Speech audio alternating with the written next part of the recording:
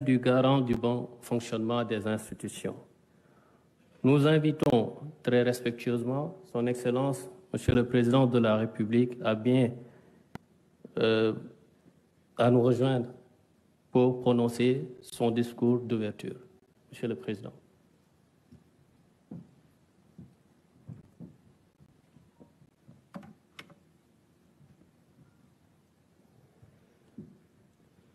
Monsieur le Président l'Assemblée nationale, Madame la Présidente du Haut Conseil des collectivités territoriales, Monsieur le Président du Conseil économique, social et environnemental, Madame la Présidente du Haut Conseil du dialogue social, Monsieur le Président du Conseil constitutionnel, Monsieur le Président, le Premier Président de la Cour suprême, Monsieur le Président, Monsieur le Procureur général près la dite Cour, Mesdames, Messieurs les anciens chefs de juridiction suprême, Monsieur le médiateur de la République, Messieurs les officiers généraux, Monsieur le Président de l'Union des magistrats du Sénégal, Monsieur le bâtonnier de l'Ordre des avocats, Mesdames, Messieurs les membres de la communauté universitaire, Mesdames, Messieurs les officiers ministériels et auxiliaires de justice, Mesdames, Messieurs les leaders de partis, coalitions de partis politiques et candidats à la dernière élection présidentielle, Mesdames, Messieurs les représentants des autorités coutumières, religieuses, du patronat, des centrales syndicales, Mesdames, Messieurs, chers invités, en votre rang, titre et qualité. Je tiens tout d'abord à exprimer ma profonde gratitude à chacun d'entre vous pour avoir répondu favorablement à notre invitation à l'occasion de cette journée nationale du dialogue. Cette cérémonie qui nous rassemble s'inscrit harmonieusement dans nos vieilles traditions socio-culturelles de dissous que nous perpétuons au sein de nos familles et de nos communautés. Fidèle à cet héritage de longue date, j'ai tenu à maintenir dans le calendrier républicain la date symbolique du 28 mai consacrée au dialogue national. En accord avec l'esprit de mon discours d'ouverture, de mon discours d'investiture, de mon message à la nation à l'occasion de la fête de l'indépendance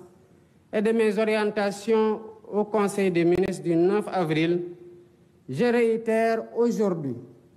la priorité élevée que j'accorde à la concertation comme mode de gouvernance des affaires publiques. Je demeure en effet convaincu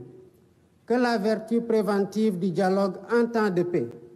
éloigne les spectres de la tension et favorise les dynamiques consensuelles, consolidant ainsi notre démocratie et assurant la stabilité indispensable au développement économique et social dans l'intérêt supérieur de la nation. Dialoguer en temps de paix, en partageant la part d'humanité qui existe en chacun de nous, est un examen à l'aune duquel une nation mesure sa grandeur. C'est tout le sens de cette journée, dont le thème porte sur la réforme et la modernisation de la justice. La problématique et l'urgence d'y faire face nous interpellent tous au-dessus de toute considération partisane. La diversité des acteurs ici présents en témoigne éloquemment. De plus,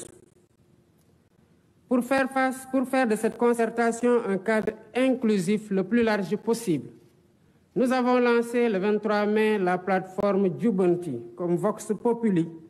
pour recueillir les contributions citoyennes. La justice étant rendue au nom du peuple, il est donc pertinent que le peuple ait son mot à dire sur la manière dont elle doit être rendue. Au demeurant, je rappelle déjà qu'en avril 2018, le besoin de modernisation de la justice avait fait l'objet d'un rapport d'un comité de concertation mise en place par le garde des Sceaux, ministre de la Justice. Six années après ces concertations et après avoir été traversées par de violentes secousses, force est de reconnaître que notre système judiciaire a besoin d'une profonde refondation, seule une approche inclusive permettra de réussir.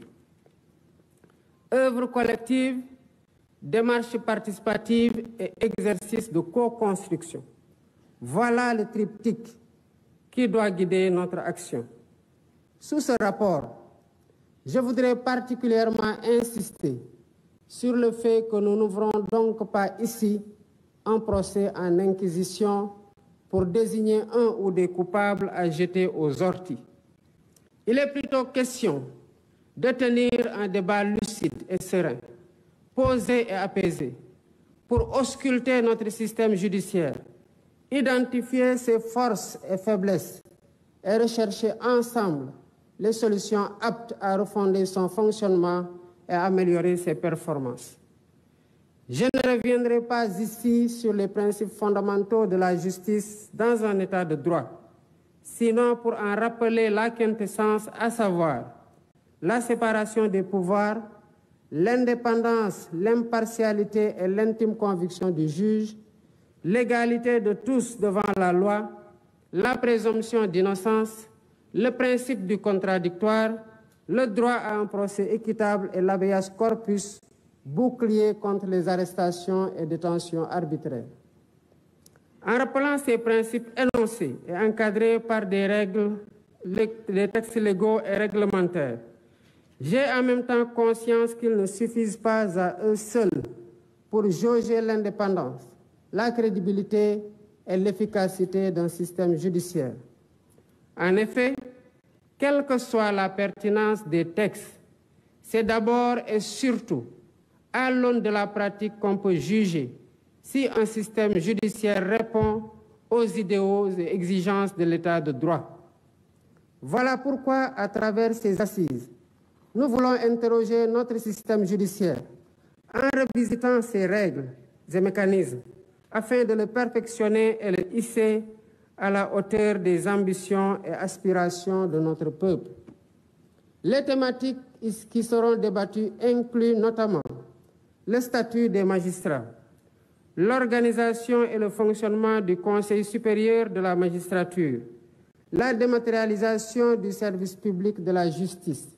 la justice et le numérique, le temps du procès pénal, le régime de la sanction pénale, le cadre juridique et institutionnel de l'administration pénitentiaire, les conditions de détention et de préparation à la réinsertion sociale des détenus, le régime de la privation de liberté, la prise en charge des enfants en danger ou en conflit avec la loi. La finalité de cet exercice est de nous aider à baliser la voie pour une réforme pragmatique de notre système judiciaire, afin qu'il inspire davantage confiance aux justiciables et préserve sa dignité. Pour ce faire, nous devons travailler à mettre en place un système plus transparent de gestion de la carrière des magistrats, à définir un régime de privation de liberté mieux encadré, à aménager un dispositif législatif et institutionnel de nature à favoriser la célérité dans le traitement des procédures judiciaires et à humaniser l'univers carcéral, à instituer des plateformes dématérialisées et fonctionnelles et améliorer le fonctionnement du système par l'allocation de moyens budgétaires suffisants et la poursuite du programme de construction et de réhabilitation des infrastructures. Il convient aussi de rappeler que pour bâtir l'état de droit que nous voulons, la réforme et la modernisation du système judiciaire ne doivent pas seulement se limiter au volet pénal, qui, il est vrai, polarise plus notre attention collective. Nous ne devons pas oublier les affaires civiles, dont la matière commerciale constitue une composante majeure, le droit du travail et le contentieux administratif, autant de domaines dont la prise en charge conditionne le fonctionnement de la justice. En portant nos réflexions sur tous les sujets à l'ordre du jour, je souhaite que nos échanges s'inscrivent dans une démarche pragmatique et répondent à la finalité de l'exercice. Mais ce faisant, gardons-nous de vouloir bâtir une république des juges qui remettrait en cause le principe cardinal de la démocratie, à savoir le gouvernement du peuple, par et pour le peuple, en vertu duquel les élus restent les dépositaires légitimes du pouvoir étatique. Je suis confiant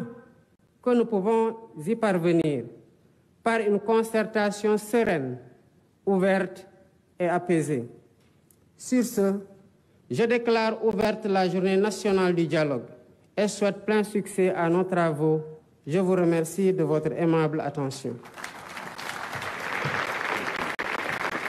Voilà, président